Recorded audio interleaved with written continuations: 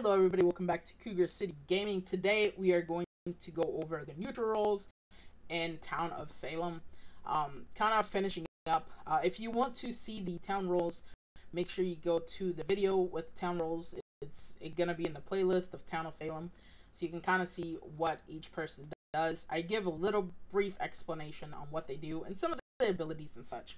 If you want to watch the Mafia one, uh, make sure you hit the Town Traitor tab. I actually went over um, that in that video at the very end. So just kind of go towards the end of that video and you will see the explanation for the Mafia. But let's get started over here with the Amnesiac. So the Amnesiac is a neutral role. You start off as neutral, but you can actually go and be anybody else. You can actually become a neutral person as well. So like if the Juggernaut dies, you can remember that you were a Juggernaut. Um, so what you do is during the day you can't really do anything until somebody is dead in the graveyard. Now when somebody's dead in the graveyard, um, depending on what that person's role is, you can choose to remember that person's role. Now once you have to stay alive, you cannot be attacked that night when you choose to remember. Because if you're attacked, and let's say you are choosing to remember a Juggernaut and you're attacked before you actually remember, you're gonna die. So you don't have um, you you don't have defense at all until you remember um, specific roles um, that could carry and have defense. But you can remember pretty much anybody. Uh, you can remember a jailer. You can remember Juggernaut, Jester, Guardian Angel, Executioner, Serial Killer, whatever you choose to remember. You can remember a townie, Mafia, Coven, whatever. But you have to live through the day. And then at the start of the day, once your remembering is successful, there's going to be a little thing that says to everybody, hey, an amnesiac remembered they were like such and such. So be careful when you're claiming because if you claim amni and say you remember an arsonist, guess what? That town is gonna say, "Oh, wait, wait a second. This amni, then this person claim amni. Oh, this is the arso. There you go. Let's get him up." So you have to be careful with that, okay? Now the arsonist. This guy actually has defense. You have basic defense. The only thing that can kill you is, um, I believe, a trap, a fully powered juggernaut, a fully powered plague bearer, and um, a veteran. So if you get shot by vigilante, you're actually going to live. You have you have some sort of defense. What you do is you go at night and you douse people. You douse people in gasoline kind of weird, I know, but that's what an arso does. And then um, what you do is when you have a good portion of the town doused, you can choose to ignite. And once that happens, everybody's gonna die the next day unless somebody roadblocks you. That's the only time that you're not gonna be able to ignite if somebody roadblocks. Now, cool little tidbit is if there's more than one arso in a game, and you feel like there's more than one arso, you could choose to ignite instead of douse, and whoever, if that person douses somebody, they're going to ignite the next day, no matter what. So you can kind of work together um, in a way on that. So that's that's a pretty cool combination you can do as an arsonist. If you feel like there's there's another arso in there, you can choose to ignite. Um, if you want to, what you can do is uh, usually it's in all any that you'll see like two arsos. You could choose to ignite night one, and um, if somebody dies, then you can say, uh, "Oh, there's another Arso in here." So kind of something cool to to to be in there um, from the arsonist point of view. Um, it's the arsonist is kind of like a hex master in a way. Uh, if you want to know what the hex master does, um, just make sure to look at the coven video that is going to be coming up soon. The Executioner. You have basic defense as well. So if somebody shoots you, you are not going to be able to die. Um, the only way you die is if you walk into a veteran, I think. Uh, you know, just the unstoppable attacks. An Arso will kill you as well if they ignite you and you're doused. Um, the good thing about an Executioner is that you get a target at the start of the game. Let's say 5 is your target the cool thing is that number five is not going to be a mafia member or a neutral killing or a coven. They're 100% townies. They are 100% a town member. So what you can do is you can act like a sheriff, or you can act and say, "Hey, hey, this guy is sus." Um, and then if that person gets hung, if you get your target lynched, then you actually win that game. You're you already won as an Exy. Now, the cool thing about the executioner is that if your target dies at night, you're going to turn yourself into a jester. Now, you're gonna have to wait a little bit so I can explain jester to you um, in a little bit of a ways. But that's a pretty cool thing. You cannot visit. The only way that you'll visit is if you get transported or controlled into somebody. Guardian angel. Hey. Um. So what you do as a guardian angel is you watch over somebody. Um. You have two protects, and you can choose to use them as you wish, or you know if your target says, "Hey, protect me tonight," you can choose to protect them. Um. You can save your target when you are also dead. So let's say you die and you still have one protect left, you could actually use that protect um, from the dead and actually keep them alive um, and and such. Now, one cool thing is once you protect that target the next day, you know when that protection is still viable, they cannot be voted. So that is something cool to do when uh, late in the game, and I mean people can choose not to vote anybody, and then you know things break loose. But uh, that's a pretty cool thing to do if your if your target is like a mafia, and you know they just not need to be lynched, um, and they can actually potentially win the game. Now, if your target dies, then you become a survivor with one vest. That sucks, but hey, it's better than nothing. So usually, uh, if if you guard and if you protect somebody, you're pretty confirmed um, especially if you say, hey, I'm GA for such and such, and you're already protected, then you're pretty much confirmed. A lot of times, some some people might come and, and try to get you, and then sometimes some people are going to come and say, oh, crap, you know, we can't do anything. Now, the Jester. Uh, as I was saying earlier with Executioner, you if your target dies at night, then you become a Jester. What Jester your whole purpose is to get lynched. Um, that's the way you win. You need to get yourself hung.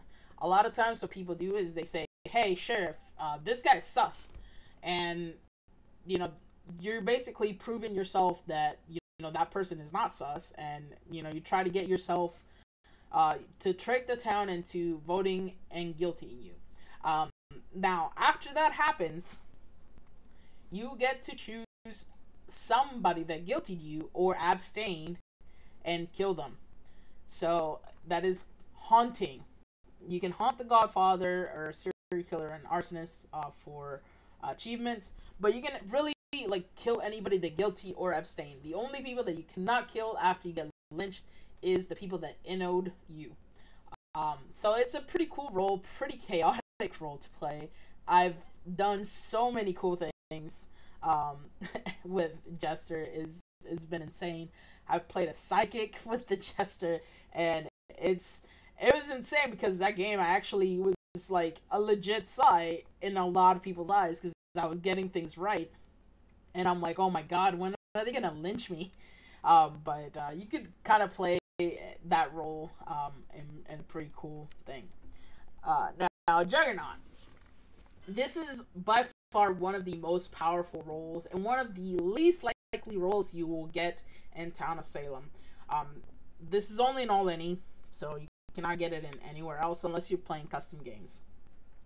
So what you do is um, you start attacking and you start getting specific uh, power ups every night you attack. Um, you're after night five, if you attack all nights, you're gonna be fully powered up, and basically those attacks are going to be unstoppable. Um, there is a there is a base there is an achievement that you have to attack a plague bearer when they are fully um, fully up and, and, you know as a juggernaut I'll, I'll show you guys when we get to the plague bearer side so, so that's pretty cool um, but it's pretty unstoppable attack if you have an uh, um the power that you can attack multiple people that visit that person, then you're gonna kill multiple people there. So that's where the kill five players in a single night comes into place. And um, you know you can you can kill the coven leader as the juggernaut. The coven leader does have basic defense as well, so it's it's a pretty cool rule. But you have to be careful with playing it because people do not like juggernauts and they will come and find you. Your public target enemy one. Sometimes when um when you start attacking from day one. A pirate. The pirate is pretty cool. Arg. Um, you have uh, a chance to duel people every night. You cannot duel the same player two nights in a row. You have to pick them. So if you want to duel player number one, one night, night one, you can duel them night one, but you have to wait till night three to duel them again. Um, now, the cool thing about dueling a player as a pirate is that you get to roadblock them. So you get to be an escort ish kind of person. Now, the pirate, you have three choices when you somebody. You can use um, a pistol, a sword, or um, I think it's it's a scimitar, pistol, and something else. Uh, so you get like a chainmail. You can sidestep, or you can um, um, I can't remember. It's it's three it's three rolls. It's three choices basically. Now let's say the pirate chooses the the choice that you choose, then you're going to die from that pirate. Now the pirate wins as soon as they win two duels. So when you win two duels this pirate, you already won the game. You don't need to do anything else. You can die and still win the game. But as long as you win two duels, you're okay. Um, what you do is this is this is a really hard um, one because you have to make sure that the game lasts 10 days that is that is a pretty hard one but you have heard of me achievement. Um, but hey sometimes it's doable. Uh, let's say next one plague bearer. This is where i was talking about being a game where a pestilence is attacked by fully powered up juggernaut. So that is a pretty cool achievement. It's a rare achievement. Um, it happens more often than not now because you know when when you have a juggernaut and a plague bearer in the game, and you actually like become a plague bearer, um, you you fully like the there's gonna be a little thing that says like the horseman of the uh, apocalypse is is out here now. You know, become pestilent horseman of the apocalypse. Um, then if there's a jug around, people are gonna say, "Hey, let's get the achievement." So there you go. But what you do with the pestilence is you're kind of like the hexmaster. You're putting a plague on people. So you visit people every night and you put a little plague. Now, if somebody visits you, then they get a little plague thing as well. So there's gonna be times where uh, if you visit specific people and they're visited, you're gonna put a plague on all of them. Um, so you can become a pestilence pretty quickly depending on how you play the game. Um, now, when you become Pestilence, Horseman of the Apocalypse, you're fully unstoppable. You're gonna start killing people. Um, so once you're infecting people, you're not killing people. You're just infecting them. But when you become Pestilence, you're killing them 100%. Um, now, you're only gonna die to certain things like uh, Veteran, um, the jailer basically executing you. so uh, the jailer is gonna try to execute you, but that's not gonna happen because they're not gonna be able to. But uh, yeah, that's it's a pretty cool thing. You can also attack players um, in a single night. So once you become horseman, if you visit somebody and there's more people visiting that person, you're gonna kill every single one of them. So it's a cool little uh, little thing. You have to be careful though because once people see, hey, somebody has become horseman of the apocalypse, they're gonna start hunting down people, and a lot of people claim Tracker as pestilence, so you gotta be careful with that. Okay. Um, because Tracker is one of the investigator results that comes with uh, Plague Bearer results, so you have to be careful. Alright, serial killer. Serial killer. You're a serial killer. That's literally what you are. Um, the cool thing is if somebody visits you and you're not cautious, then you're going to kill them. So, um, if the jailer uh, jails you and you are not cautious, you're gonna kill them, and that that uh, will is gonna be all bloodied up and everything. So it, that's a pretty cool thing. That people are gonna know that um, that you the the serial killer killed the jailer uh, because you're still gonna see the the the the roles, but the they're not gonna see the will. So if they wrote on the will, "Hey, I jailed this person," then they're people are not gonna know it was you who got jailed. The only way that somebody will know that you killed the jailer is if they go to you and say, "Hey, Target was jailed." That's the only way. Um, as a serial killer, that you're gonna be found out in those circumstances. Um, but what you do is you have basic defense. So if somebody shoots you or whatnot, you're not gonna be able to to die. The only way you die is, uh, I think, a trapper kills a trap kills you, and a veteran will kill you. Uh, fully powered juggernaut will kill you, and a horseman will also kill you. But it's a pretty cool game. You go stabby stab some people. You become a, a serial killer basically. That's that's all it is. Now Survivor. Whew. This is a rough one to play because a lot of times evils, neutral evils, become saying, "Hey, I'm serve, I'm a survivor," and then they turn not to be a survivor. So be careful when you're claiming survivor, um, and just how you kind of play the game. You're, you're very neutral. Don't necessarily start pointing things at everybody. Don't start saying, "Hey, I'm gonna side with the coven openly," or side with the mafia openly, you're gonna get lynched at that point. Uh, maybe not by the mafia, but if the mafia don't have numbers, then you know they're gonna the town or the covenant is gonna say, "Oh, let's get this survivor guy. He's not gonna work with us." You have four vests, um, so you're not completely defenseless. Um, however, if you're attacked and you do not have a vest on that night, then you are going to die. So you have to be careful. Um, and even if you have a vest on, you're still gonna die to like things like a juggernaut, fully powered juggernaut, fully powered horseman, pest. Uh, so you have to be careful with that. You can still get executed by the jailer, um, and all kinds of stuff. Uh, there are um, there are achievements for not using your vest.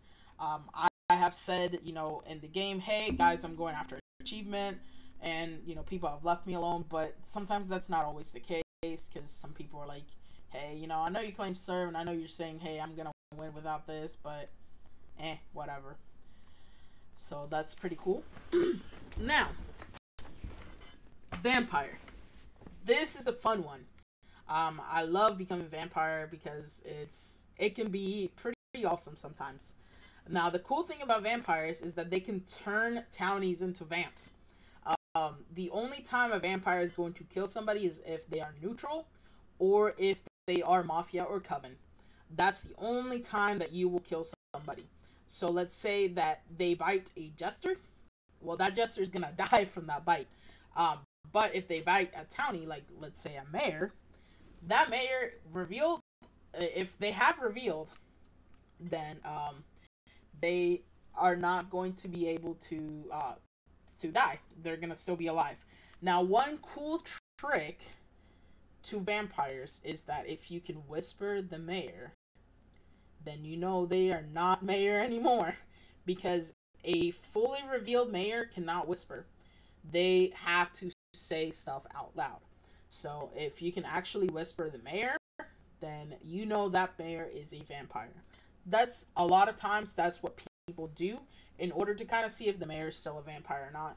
Most of the time, the vampires will leave the mayor alone until they have to get the mayor at the last possible second, just so they don't waste, you know, times um, and basically saying. So, if, as you kind of see, I have uh, a lot of the achievements because it's a lot of fun playing um, a vampire. So there you go.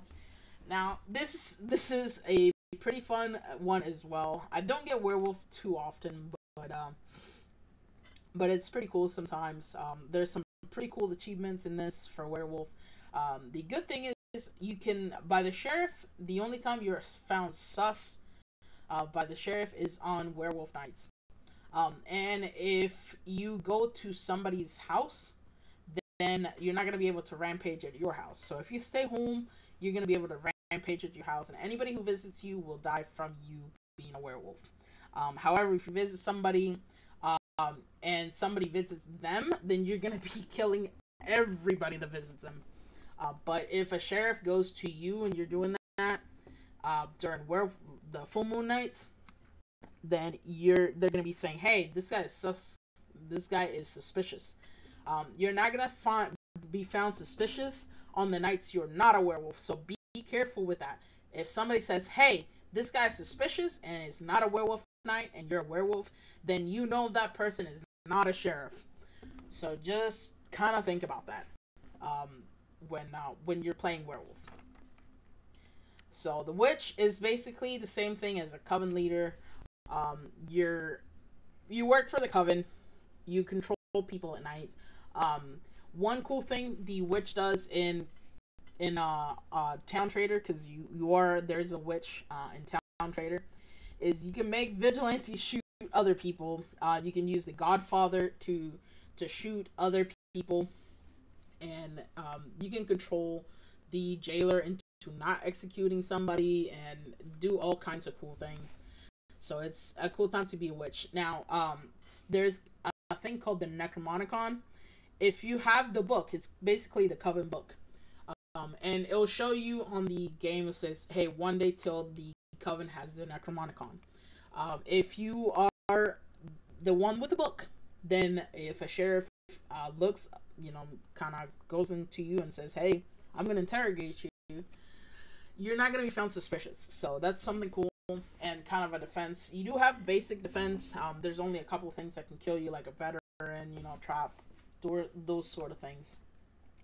Um, but yeah, that's pretty much all for the neutral roles. Thank you guys for watching. Make sure you like and subscribe for content just like this, and get uh, into the next um, up and coming role with the Coven expansion.